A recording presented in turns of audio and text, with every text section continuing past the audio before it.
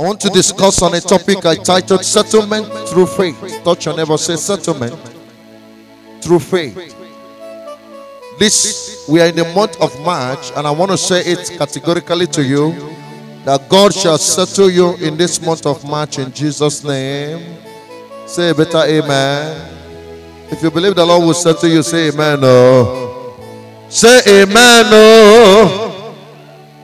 Okay. Take me to the scripture of Second Kings chapter 5.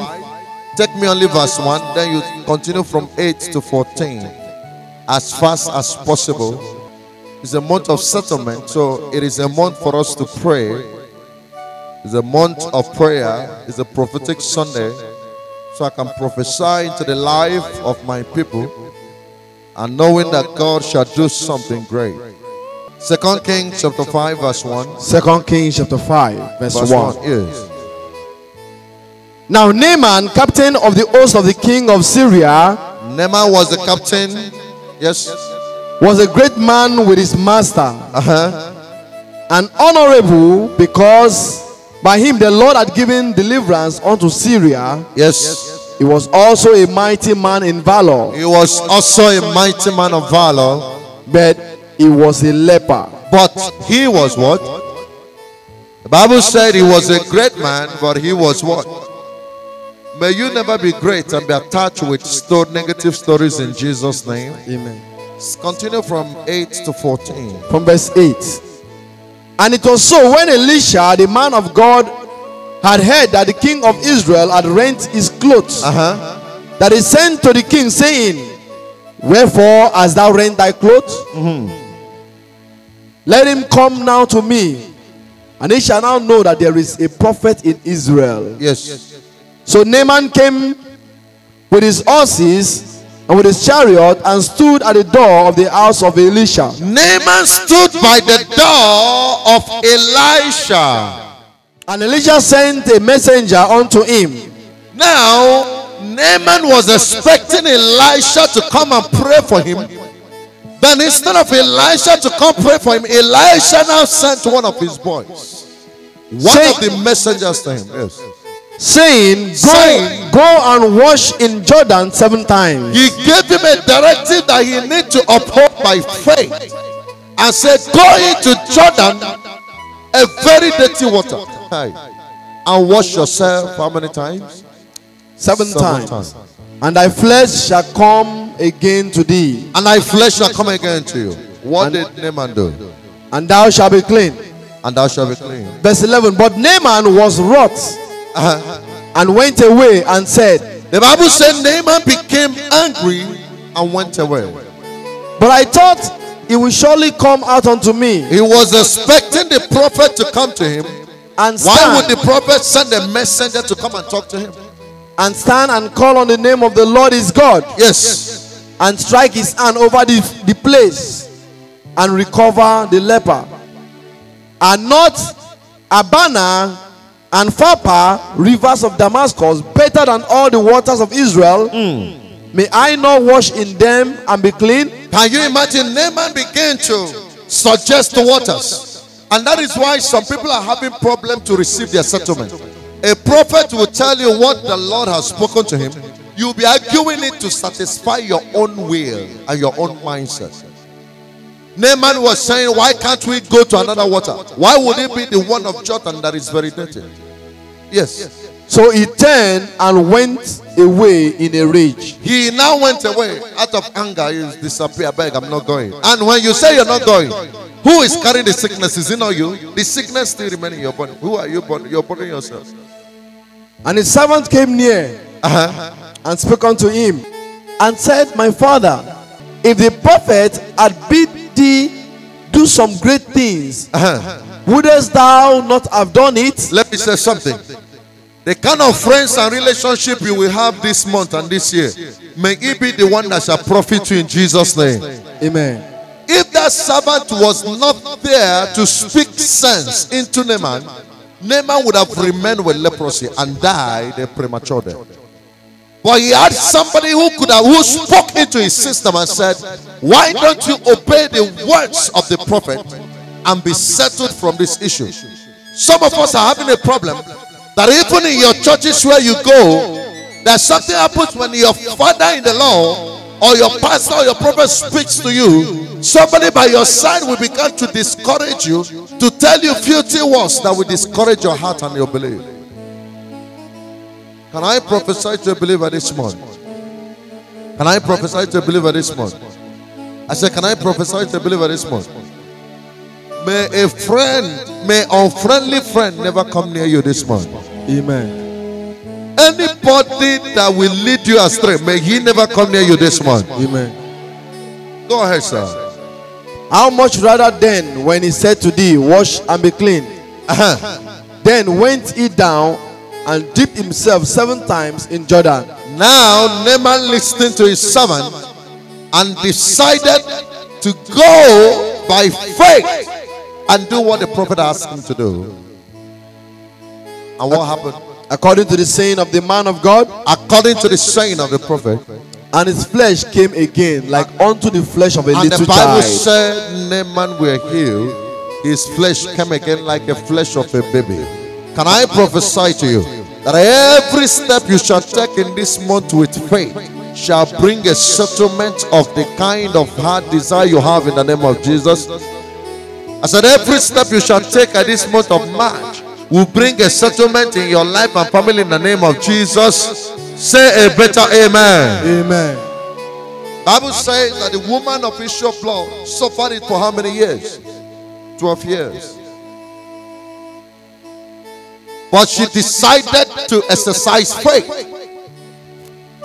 She decided to exercise faith. And what was the faith? She said, If I could touch the hem of the garment, Lord Jesus. He said, The issue that lasted for years will just come to an end. And for you to see the way faith works, she now had to break the age of men and what? And women. She broke the age of the crowd. She did everything that she could to make sure that she would touch the hem and the garment of Jesus. And the Bible said when she broke forth and lay her hands, he said, with her faith, the infirmity, the sickness, the affliction, the problem came to what? An end. May I prophesy to you, all of you that shall exercise faith today, may you receive a settlement you have never received before. I say, may you receive a settlement you have never received before. May you receive a settlement you have never received before. Say amen and amen. Take me to First Samuel chapter 1. First Samuel chapter 1. Take me from 13. Now Anna, she spake in her heart, Hannah spoke in her heart, only her lips moved, only her lips were moving, but her voice was not but her voice was not heard. Therefore Eli thought she had been drunken. Eli the priest thought she was drunk. And Eli said unto her, How long wilt thou be drunken?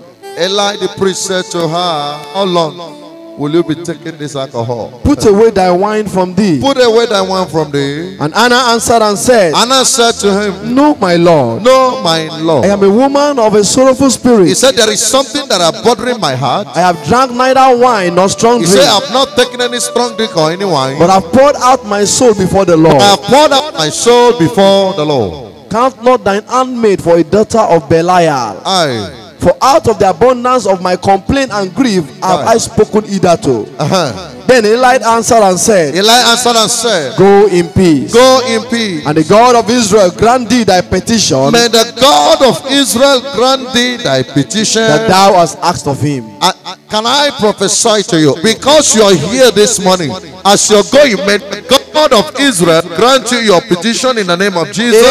Amen. The petition of Hannah said, I needed a man child. Her heart was pain. You know, when you read First Samuel very well, you will understand that the womb of Hannah were shut by who? By God. It's even better that Satan shut your womb. Then you can call God to open it. Than when God shut your womb, Now, when you understand this mystery, the Bible said she cried. She cried. When you look at her crying, say her heart was pain.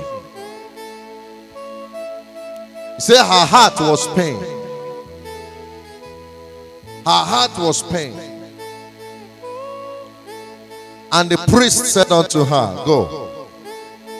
Because of your faith and the grace, may the Lord grant your petition. The same God who shut her womb did what? Upon it. Kai. Kai. You are the Lord, that is your name. You will never share your glory with any man. You, You can never share your glory with anybody. Almighty God, that is your name. Can I say something to a believer?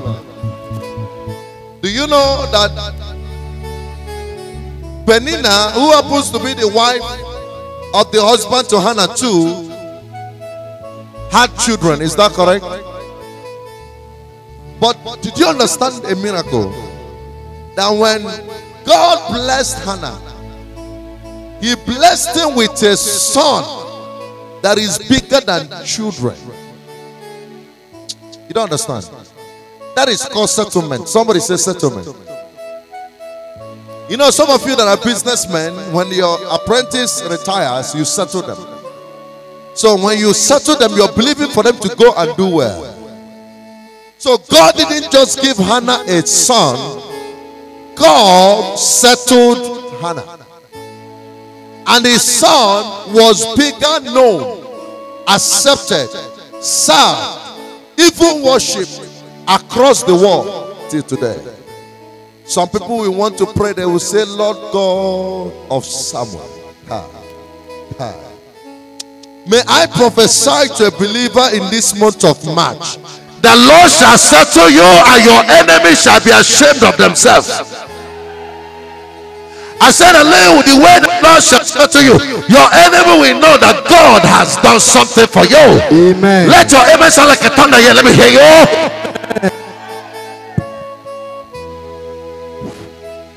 It's not God giving a child, it was God to settle. When He settles you, everything that you cry about comes to an end. When He settles you, every matter that concerneth you comes to an end. When God settles you, is different than when you receive a gift. Settlement. He said, God gave him a man child and his name was called Samuel. Come, come. And today, even in the history of normal life, there are people that have only one son, and there are people that have seven sons, and you cannot compare the seven sons with the one son. I may call it testimony of such miracle too. Amen. And I prophesy to somebody here that you shall become the instrument of settlement in your family. You see, nothing that's been lacking in your family, you shall become the instrument to the settlement. And I welcome you to the month of March, and I want to say authoritatively, convincingly, and by the authority of the Holy Ghost, and by from the throne of grace from heaven, that from today thou shalt be bestowed the grace of settlement on behalf of your family.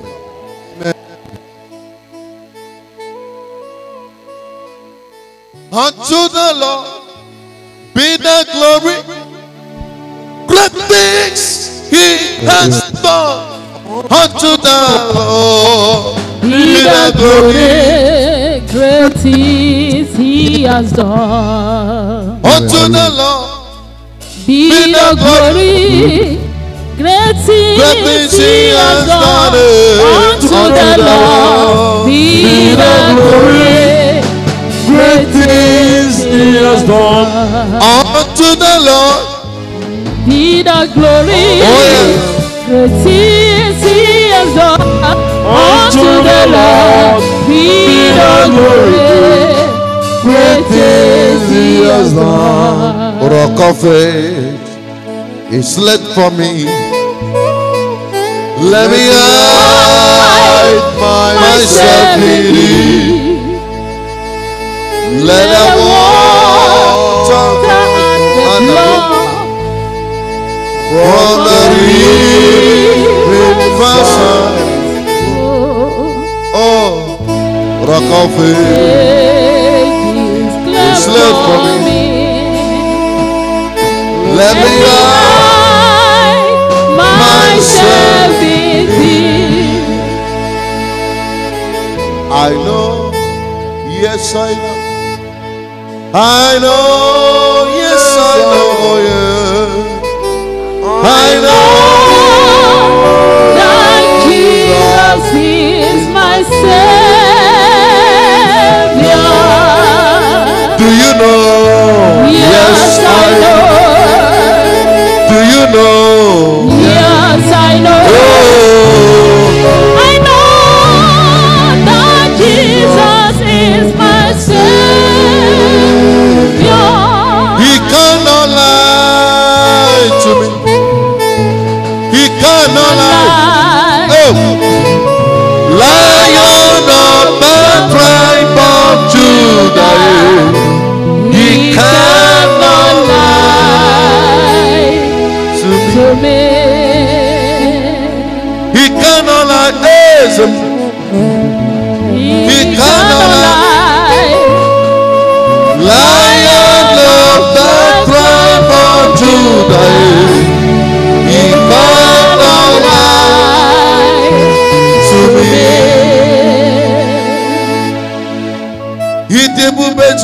para passar maior.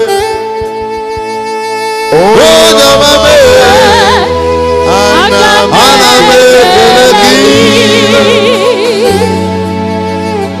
E devo pedir para passar maior.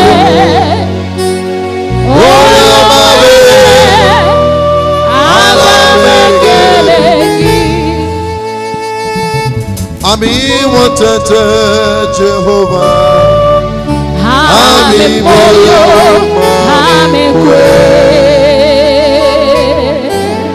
Ah.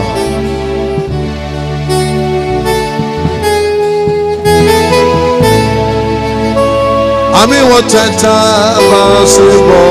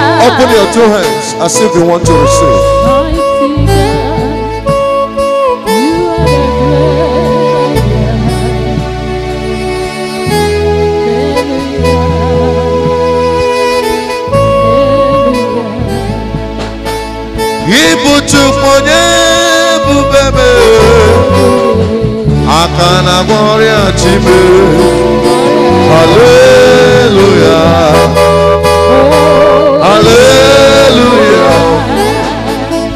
Close your eyes and open your hands. Pastor, anoint everybody's hands.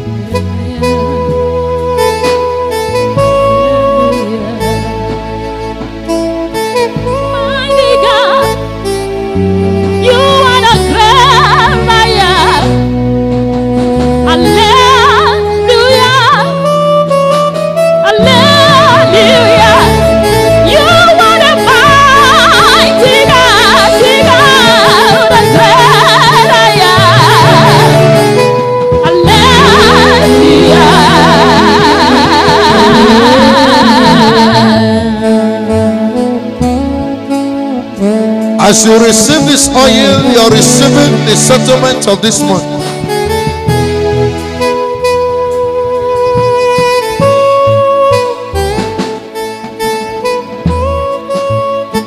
Elume, alame, nani Jesus kamara eh. Elume, alame,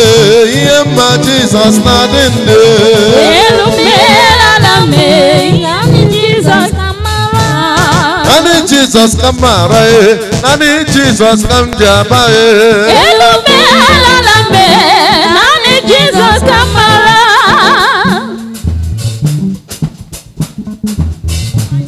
Elume, alame, iye ma Jesus na dinde. Jesus, At this time, I want you to look at your hands. What area do you want God to settle you this month? I'm not saying this year. I'm not saying this year. I'm saying this month. What area do you want God to settle you this month of March? Look at your hands and begin to pray that prayer.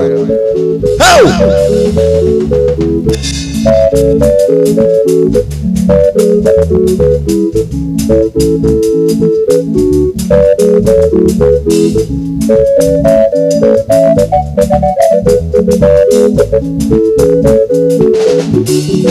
that prayer. Aha!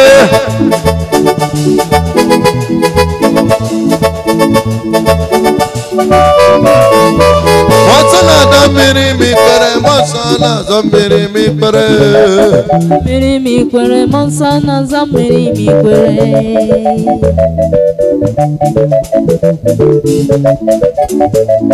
Say it and believe it, say it and believe it.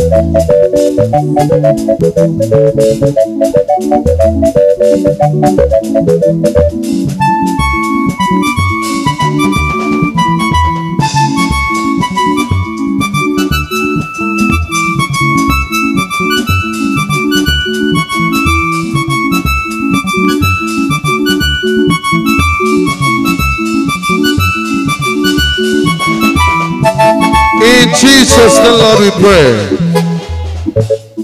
Daddy, I join by the faith of my people and I pray for them this morning that every of your desire in this month of March 2019 shall come to pass in the name of Jesus. You shall never be cut off. Your miracle will not be stolen. Your healing will take place. Your deliverance will take place. Your restoration will take place. The glory of God shall be restored in your life. The name of God will speak in your life in the name of Jesus. I settle you. I settle you with marriages, fruit of the womb, financial breakthrough, healing and deliverance, business breakthrough, educational breakthrough, financial breakthrough in the name of Jesus. Every areas of your expectation shall not be cut off. I bless you going out and coming into the month of March, and it shall be well with you. I bless the oil in your hands, that she shall touch your forehead, you have contacted the blessing of this month, and nothing shall stop it to the glory of God. In Jesus' name, Lord, we pray. As you anoint yourself this month, you shall not die. In Jesus' name, Lord, we pray. Oh, yeah.